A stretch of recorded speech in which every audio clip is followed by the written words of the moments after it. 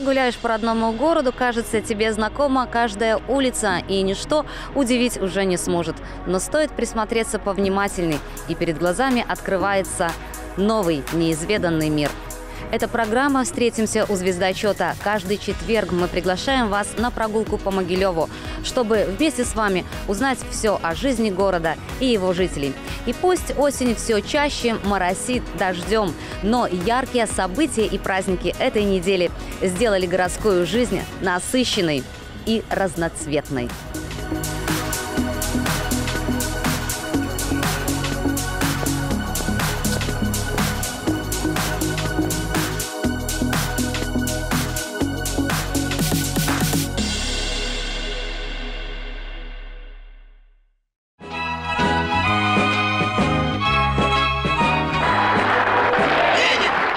Комсомол – понятие, которое не подлежит духовной инфляции и не требует политической реабилитации. Ведь комсомольские годы – лучшая часть биографии большинства людей старшего поколения на всем постсоветском пространстве. Коммунистический союз молодежи в этом году отпраздновал вековой юбилей. Могилев отметил это событие эстафетой самых разных мероприятий. Когда речь заходит о комсомоле, у старшего поколения в глазах загорается огонек, такой комсомольский. В этих воспоминаниях прежде всего молодость, невероятная энергия, первая любовь и даже судьба. Я ушел с комсомола в 33 года. 317 Славсанстрой, всесоюзно-ударный, даже две всесоюзных ударных комсомольской стройки. Вся моя юность там, поэтому здесь без принуждения, а с большим желанием. Это вся жизнь, поверьте. Я не аппаратный был работник, я токарем была, но очень активно в комсомольской работе была. И поэтому все вот толчок потом следующий, это был комсомол. Это потом съезды, это очень мне и для общего развития. И, конечно, и, и судьба это уже пошла совсем другая. Комсомол – это для меня, скажем, все. И для э, того поколения, в котором я родился и рос. Мы были послевоенные и э, все делали для того, чтобы молодежь э, помнила и э, традиции все.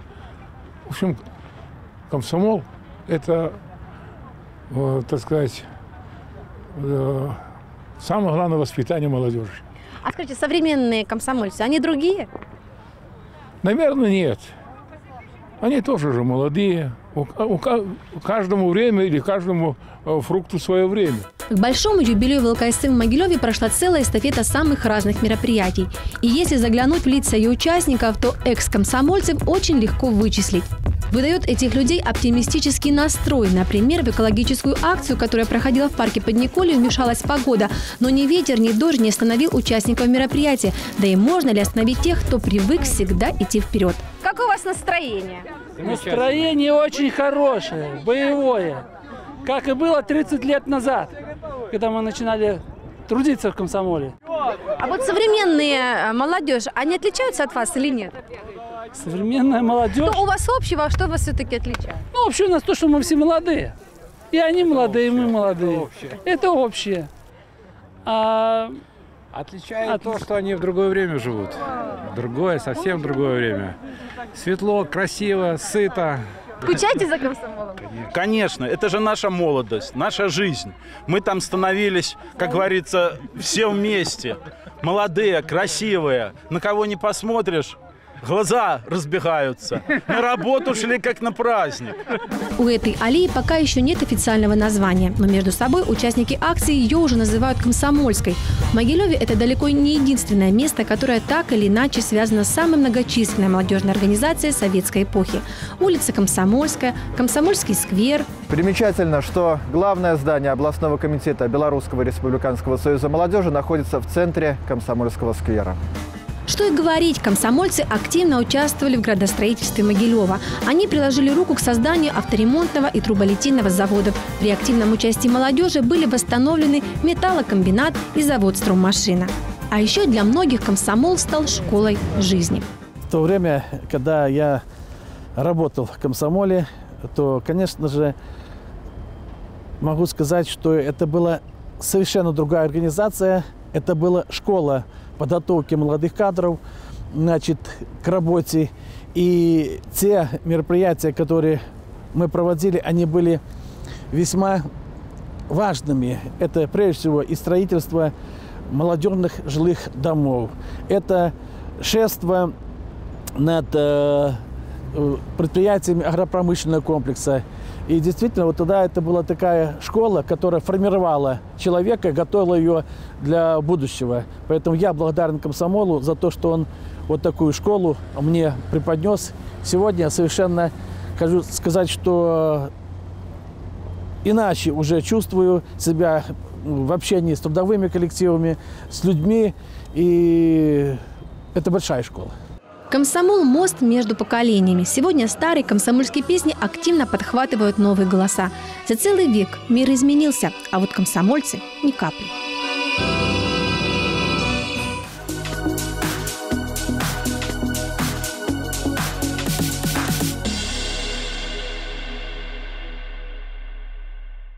Конце октября весь мир отметил Международный день анимации.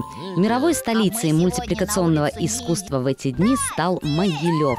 В нашем городе прошел 21-й Международный фестиваль анимационных фильмов «Анимаевка-2018». В далеком 1998 году фестиваль «Анимаевка» впервые прошел в Минске. Вскоре анимационный форум переехал в Могилев. С тех пор жители и гости нашего города ежегодно слышат «Привет!» «Анимаевка-2018» стала самой масштабной за все годы существования фестиваля. Заявок на участие жюри получило почти в два раза больше, чем в прошлом году. Из э, Японии, Индии, Америки, Германии, Франции, Польши, Литвы, там, в общем, весь мир, весь мир был представлен. Членам э, отборочной комиссии было очень тяжело, потому что мы посмотрели больше 400 фильмов. Благодаря фестивалю творческие люди могут обмениваться идеями, вдохновляться работами, развивать мультипликационное искусство во всем мире. Побывав на Анимаевке хоть раз, именитые гости спешат возвращаться сюда вновь и вновь. Мы сюда вот приехали, прошлый год мы были вдвоем, вот, и нам так понравилось, что мы решили сюда привезти из Питера наших детей, наш театр. А, дети – это музыкальный театр детей. И, э, в общем-то, мы им столько рассказывали про Могилев и про этот фестиваль что вот они нас они... все время теребили, давайте, давайте, мы тоже хотим с вами, вот вы теребили. Марина Ланда и Сергей Васильев написали всю музыку к сериалу «Смешарики». Этот мультфильм показывают в 60 странах мира, каждый день его смотрят 50 миллионов человек. Творческая встреча юных могилевчан со звездными композиторами прошла в кинотеатре «Космос». Как приятно заболеть! Все начнут тебя! Чтобы написать музыку к современным мультфильмам, артисты ищут вдохновение в классике. Старый и добрый союз мультфильм никогда не теряет актуальности. Про музыку, да, то это, конечно, Гладков и Энтин, безусловно, Рыбников, э, Шаинский. Вот. Да. То есть это бременские музыканты, «Голубой щенок». Э, и Винни-Пух. А если говорить вообще про конечно. Да, то, конечно, Винни-Пух, э, каникулы Бонифация. Ну, слава богу, вот тут уж точно как бы такая почва, что питаться можно будет еще пару столетий. Анимаевка объединила и юных аниматоров, которые только делают первые шаги мультипликации, и метров кинематографического искусства. Вместе с детьми они участвовали в мастер-классах, радовались новым встречам, активно фотографировались с мультяшными героями потрясающие ребята в Могилеве, так живо э, реагируют, интересуются, участвуют в этом всем. А от этого и есть праздник. За четыре дня фестиваля прошли творческие встречи и мастер-классы, презентации и показы, конкурсы изобразительного и декоративно-прикладного искусства. Анимаевка-2018 стала настоящим праздником творчества и детства. Я люблю ходить в кинотеатр с своими родными, друзьями и смотреть там крутые мультики. Мультики любите смотреть? Да! Они красные, они веселые, интересные, а развлекательные. Любимый мультик? Фиксики, смешарики, золотая рыбка, простоквашино, холодное сердце. Э, ну погоди. Создать собственный мультфильм юные могилевчане попытались на мастер-классах выдающихся режиссеров. Секреты пластилиновой анимации раскрыл Степан Бирюков, российский мультипликатор. И мы сейчас попробуем, чтобы сделать, что морковка у нас выросла, да? Давайте. Ну, девочки там лепили морковку, а я помогала. Ну, интересно. Это очень интересно.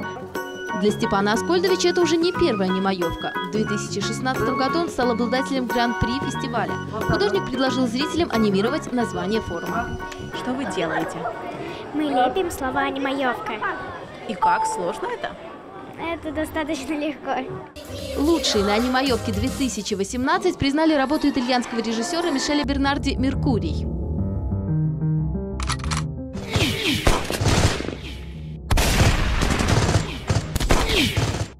Не остались без наград и могилевские мультипликаторы. Детская анимационная студия «Карандаш» стала лучшей в двух номинациях. Картину «Оборотень» объявили лучшим белорусским анимационным фильмом, а «Пластилиновая легенда про Мирский замок» стала самым познавательным анимационным фильмом фестиваля. А возможно, что вся эта легенда всего лишь страшная выдумка, которую передали нам наши предки, как предостережение. Интерес к анимации постоянно растет. Это значит, что анимаевка не в последний раз объединила поклонников мультипликационного искусства. И гимн фестиваля прозвучит еще много раз.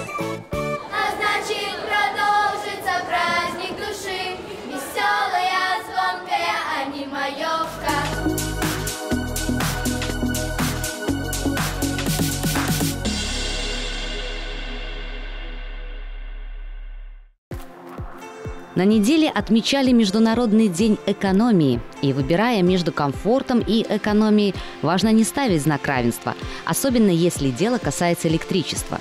Жить светлее и при этом недорого можно. Могилев умеет экономить. Уходя, выключайте свет. Именно такой призыв ежедневно видят 80% работающих людей. А вот приносят ли домой могилевчане полезную привычку экономить? Мнения разделились. Никак не экономлю. А почему? А зачем? Экономим, конечно. А как? Как? Ну, стараемся меньше выключать, выключать. Экономлю. А как? Лишний свет выключаю. Оставляю только там, где нужно. Ну, в общем-то, без фанатизма, конечно. Но в таком вопросе, как экономия, помогает скупой подсчет. За последние, я скажу так, три года э, потребление населением э, незначительно сокращается, примерно 1% каждый год. А сколько именно нагорело, подсчитает счетчик и специальное управление. Сэкономили мы более 67 тысяч тонн условного топлива. Экономят все – и простые абоненты, и город. Уже установлено порядка двух тысяч светильников светодиодных и сэкономлено около 80 тонн условного топлива. Это 315 тысяч киловатт-часов. Цифры, говорящие об экономии электричества в обычных квартирах и домах, несколько скромнее. Населением э, сэкономлено порядка 4 миллионов киловатт-часов. Использовать больше, платить меньше возможно. Способы давно известны. Самое известное, если спросить любого горожанина, это замена ламп накаливания на светодиодные. Нынче самые энергоэффективные. Лампочки меняем. А сколько они помогают сэкономить, практически никто и не считал. Верят на слово. Вы знаете, я не считала, просто я смотрю, что они очень долго горят. Вот два года у меня уже лампочки горят, и как бы проблем нет, у меня часто не надо. Однако в управлении по надзору за рациональным использованием топливно-энергетических ресурсов и это тоже подсчитали. Порядка получается 6 киловатт в месяц. Это вроде как немного.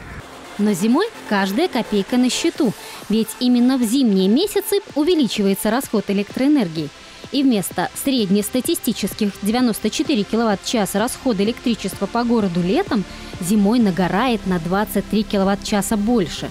А для населения сейчас э, с 1 января 2018 года действуют тарифы 14,33 э, копейки за 1 киловатт-час. Это, это, при норме потребления до 150 киловатт-часов.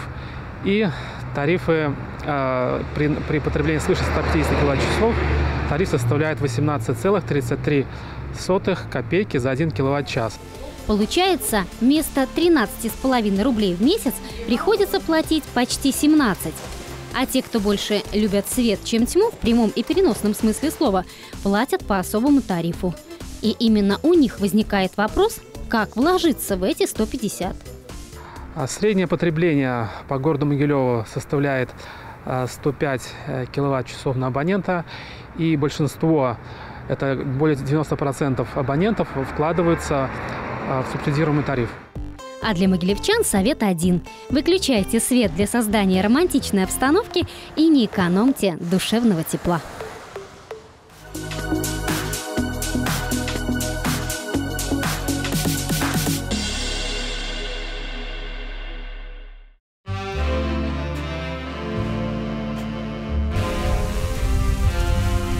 Осень – лучшее время для чтения.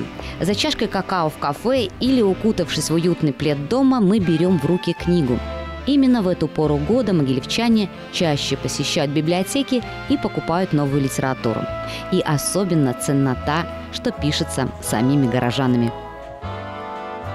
Начинается повествование с того, что старый кот пожарный по имени Уголек обучает своих верных друзей, вулкана Юпитера и метеора всем правилам безопасности. Во время этого котята шалят, не выполняют правила, не хотят учиться, но впоследствии становятся доблестными и смелыми героями, которыми гордится вся пожарная служба.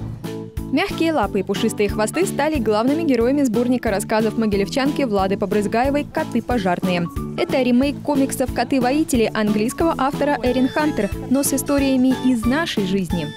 Коты пожарные – это прототипы реальных героев, называть которых я не буду. Каждый может себя найти в котах пожарных, именно из сотрудников МЧС. Отец и дед Влады были пожарными, так что эта книга и про них тоже.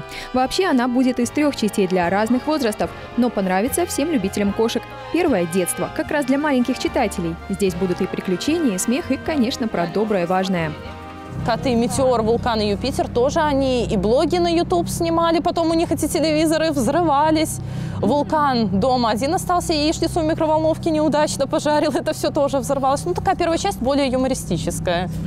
Но самое главное, мне кажется, чтобы ребята, которые прочитают ваши книги, они сделали какие-то выводы для себя. Что не нужно, что нужно делать, как себя нужно вести и что не надо делать. Чтобы они знали, как себя вести в чрезвычайных ситуациях. Это очень полезно детям. В третьей части, что не нужно отчаиваться, нужно просто идти к своей цели. А во второй части нужно знать историю своей страны. Рассказы так понравились критикам, что первую часть издательства уже готово печатать. Книга будет с иллюстрациями на основе рисунков Cascading Serenity и на двух языках – русском и английском. У проекта даже появился символ – код метеор. Метеора сделала моя мама из папье-маше. Спасибо ей огромное, что помогает мне в проекте «Коты пожарные». Он у нас одет в форму, в специальной такой шапочке, румяные щечки, глазки зеленые. Он у нас серьезный мужчина, который любит всеми командовать и часто учит своих оруженосцев правильно обращаться с огнетушителем, с пожарным гидрантом. Вот такой сер... наверное, будет интересно. Да, детям вот такой серьезный мужчина, он их любимец. Вот этот серьезный кот, который стоит у нас руки в боки. А будут еще, так что не исключено, что по этим рассказам снимут и мультфильм. Проект «Коты пожарные» поддерживает областное управление МЧС. Сейчас Влада заканчивает третью часть книги, а далее планируются рассказы про каждого героя отдельно. Так что вскоре ищите повести о смелых и любознательных питомцах на книжных полках Могилева.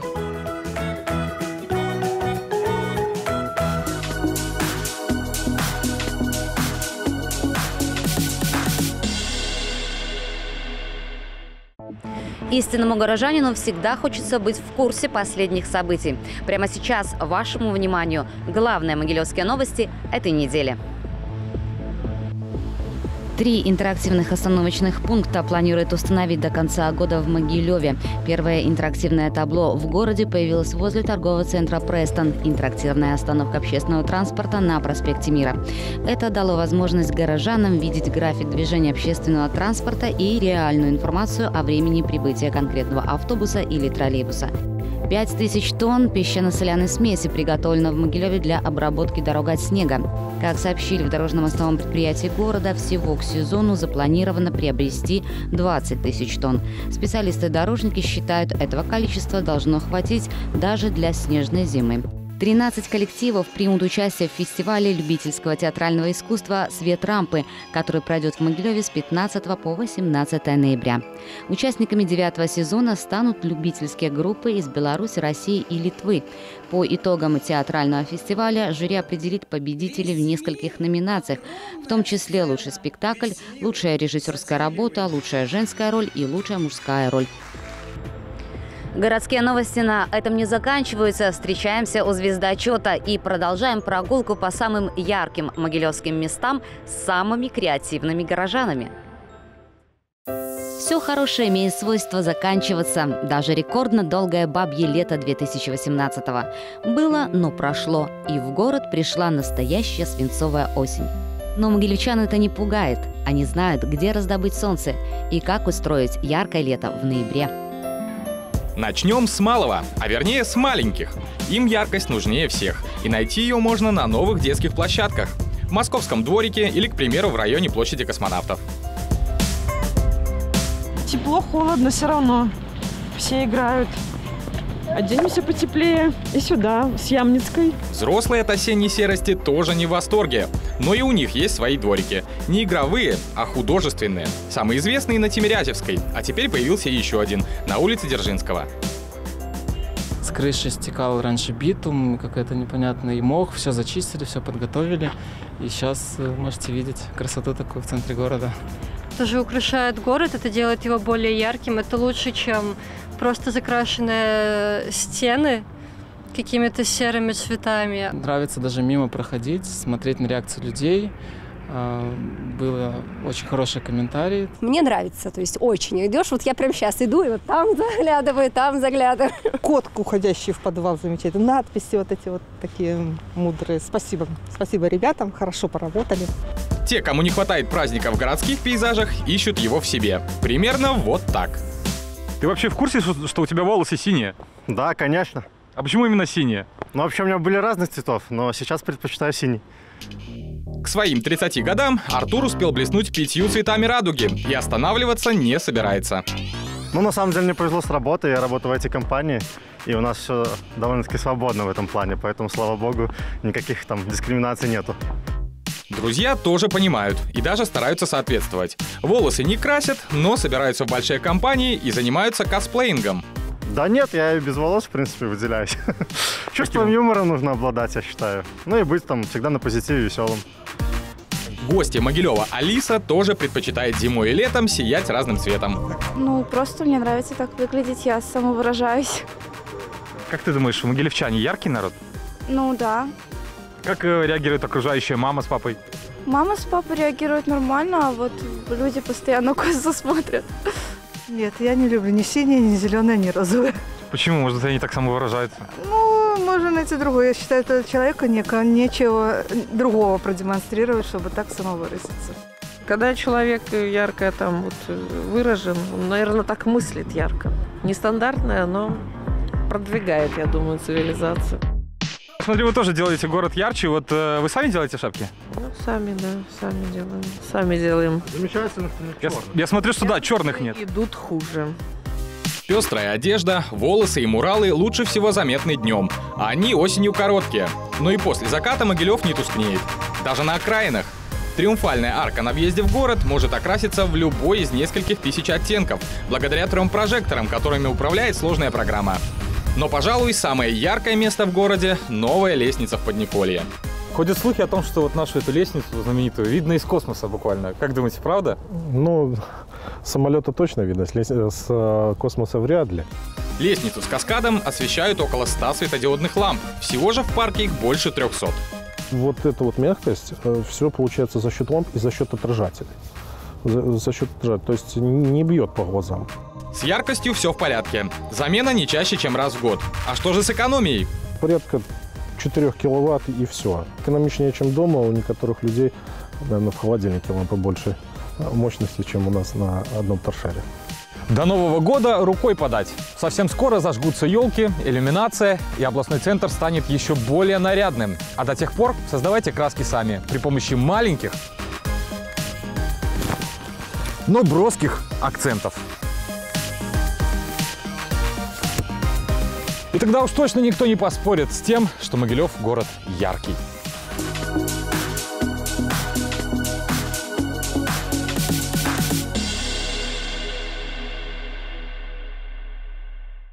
Мы ходим в страшных Мы просто ходим. костюмах, в страшном гриме да. и говорим сладости или гадость, да. нам дают э, сладости, а если, ну, закрывают дверь, то мы, мы ничего не делаем. Нет, мы, мы ничего не делаем, наверное.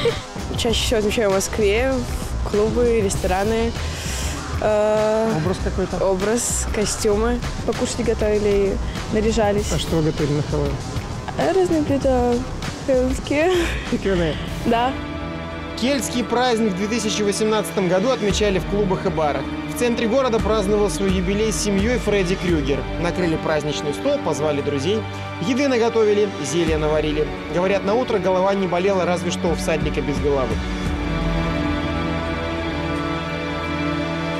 Могилевские квизы также присоединились к празднику, причем сделали это очень эффектно. Респект за огромное количество образов и фотозон. Программа «Встретимся у звездочета» также не осталась в стороне. Главный символ Хэллоуина – это тыква. Поэтому мы решили заложить тыквенную грядку прямо в центре Могилева. Надеемся получить в следующем году большой урожай. Говорят, в одной студии красоты одна девушка опоздала на стрижку.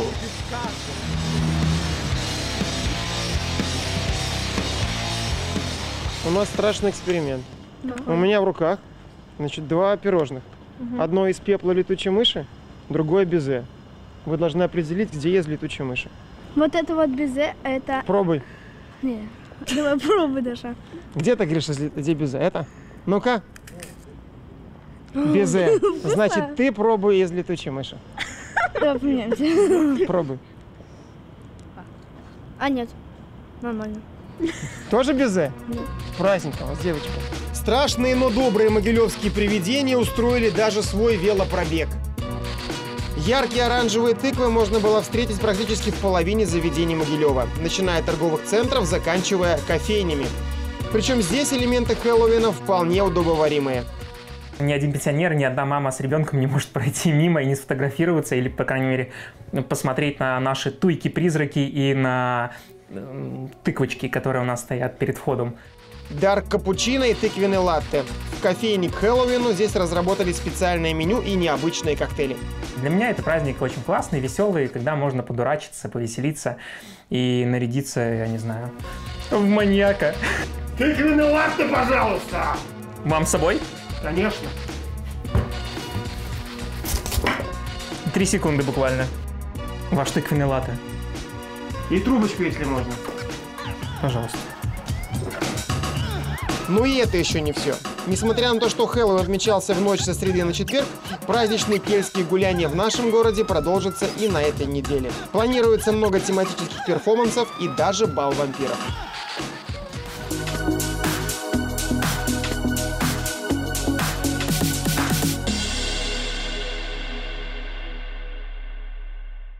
Осень – то время года, когда люди должны согревать друг друга своими словами, своими чувствами и своими снимками.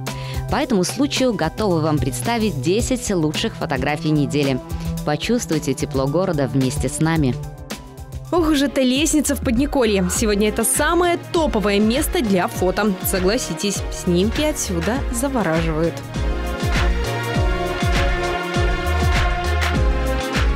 Недалеко от топа ушел и новый корпус БРУ. Он то и делает, что собирает лайки и восторженные комментарии. Ждем открытия.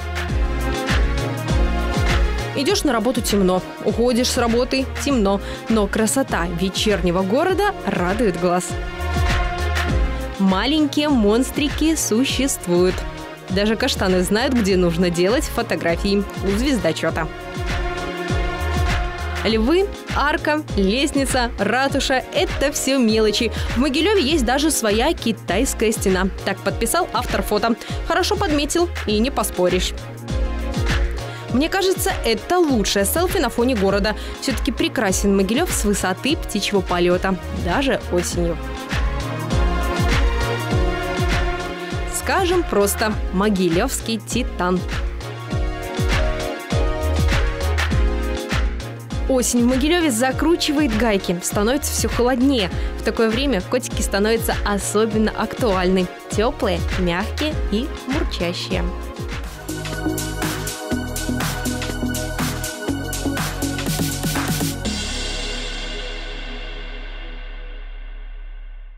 Наша прогулка заканчивается, но ровно через неделю мы снова встретимся у звездочета на телеканале «Беларусь-4 Могилев», чтобы узнать больше о городе, в котором живем.